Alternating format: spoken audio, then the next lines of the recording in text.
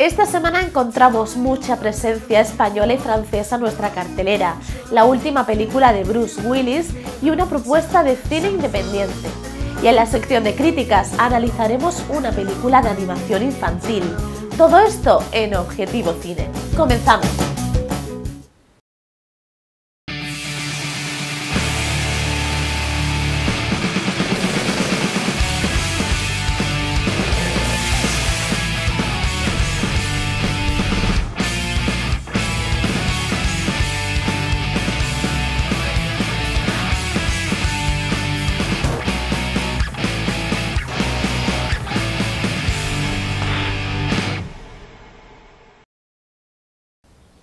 Bienvenidos una semana más a Objetivo Cine. Antes de nada, recordar que entre los estrenos de esta semana podemos encontrar el reestreno de la que fue una de las películas más taquilleras de la historia en su momento, Titanic. Siguiendo el ejemplo de los dos últimos reestrenos que hemos podido ver en nuestros cines, como El Rey León o La amenaza fantasma, la película de James Cameron se podrá ver en 3D.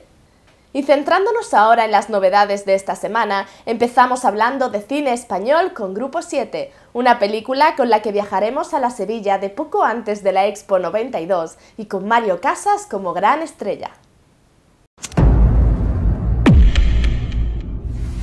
¿Tú has casado?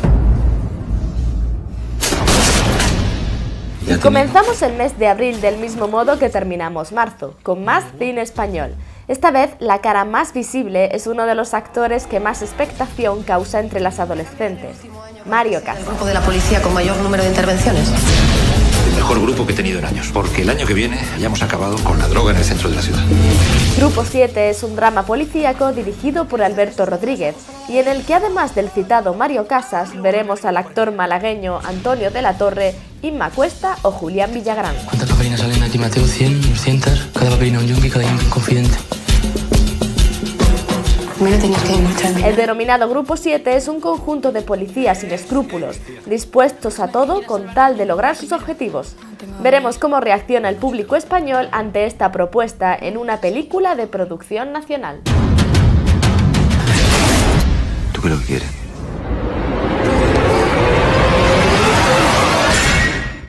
El blockbuster hollywoodiense de esta semana se titula La fría luz del día, una película ambientada en España y en la que veremos alguna que otra cara conocida para los españoles.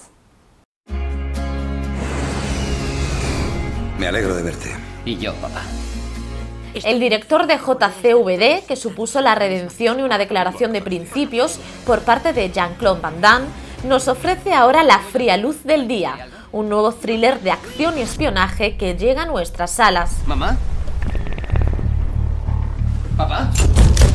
Un joven cuya familia es secuestrada durante unas vacaciones en España dispone solamente de unas horas para resolver el problema, al mismo tiempo que descubre un oscuro secreto de su padre y una conspiración del gobierno. ¿Qué está pasando aquí? Te debo una explicación. Sabes que trabajo para... el Henry. Cavill, Bruce Willis, Sigourney Weaver o los españoles Verónica Echegui y Oscar Jaenada son algunas de las caras conocidas que veremos en esta película. Diga, Tienes menos de 21 horas. ¿quién coño es usted? Y ahora tenemos que hablar de cine francés. En primer lugar se estrena Mi hijo y yo, una película que ya comentamos en el programa del 16 de marzo, por lo que para ver el vídeo solo tenéis que pinchar en el enlace que aparece en la pantalla. Y por otro lado se estrenan Los infieles, una película en la que veremos al oscarizado dúo de Michelle Hazanavicius y Jean Dujardin a la cabeza.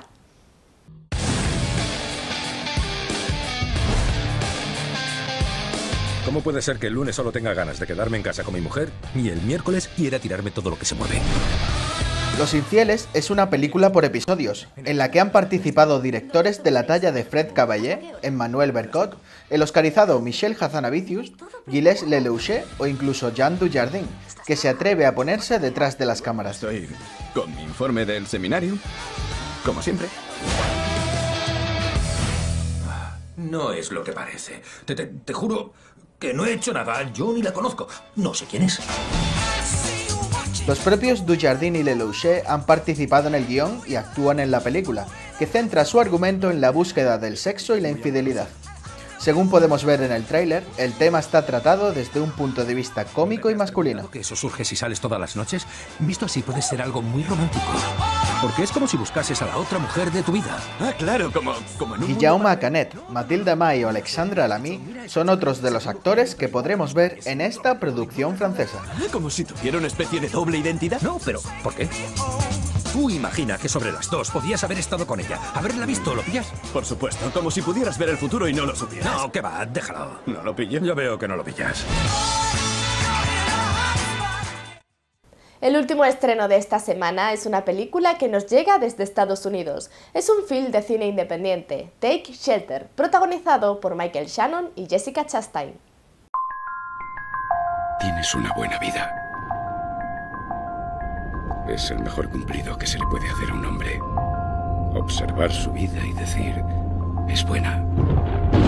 Take Shelter es un drama psicológico de cine independiente americano que ha cosechado bastantes críticas positivas.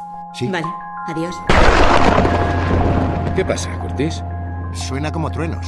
¿Qué suena como truenos? Estoy teniendo sueños. Siempre empiezan como una tormenta.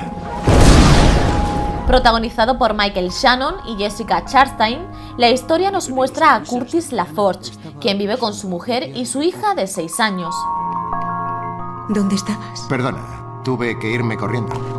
Curtis comienza a sufrir fuertes alucinaciones apocalípticas que le hacen dudar de si son consecuencia de una enfermedad mental o si se trata de premoniciones reales. No me has dicho una palabra de esto. No quería preocuparte. Samantha. Una de las películas de cine independiente más aclamadas del 2011. ¿Quieres gastarte el dinero en un estúpido refugio para tornados?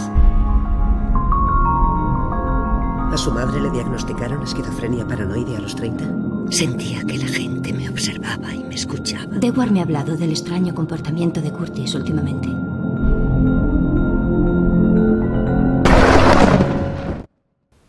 Y ahora os dejo con mi compañera Inmaculada para que os presente la crítica de la semana.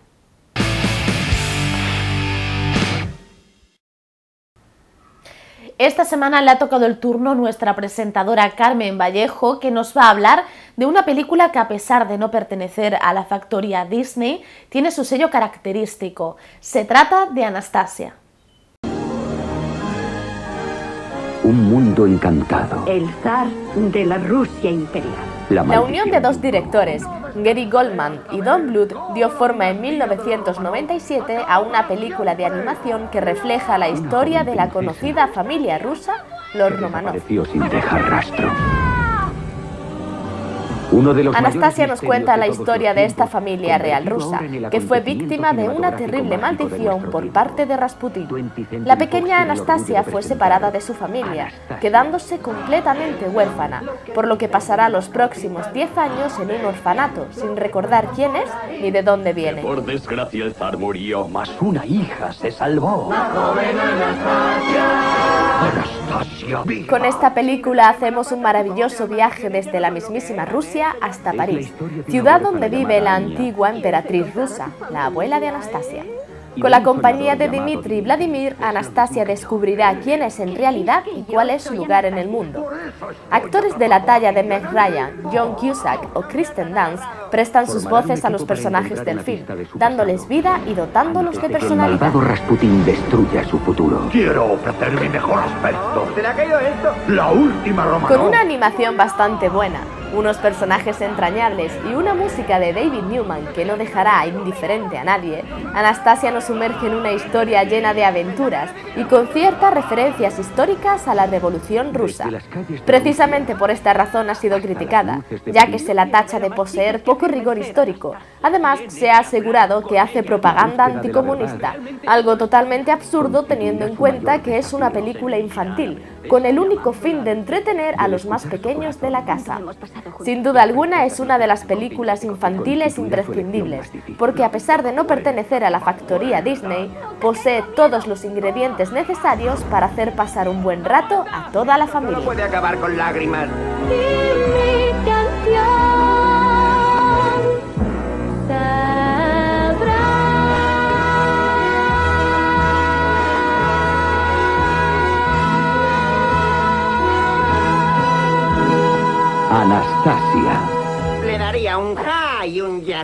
Y la patearía, señor. Y hasta aquí el programa de hoy, espero que os haya gustado. Recordad que seguimos en las redes sociales y en nuestra página web www.objetivocine.es. Gracias a todos por estar ahí y hasta la próxima cinefilos.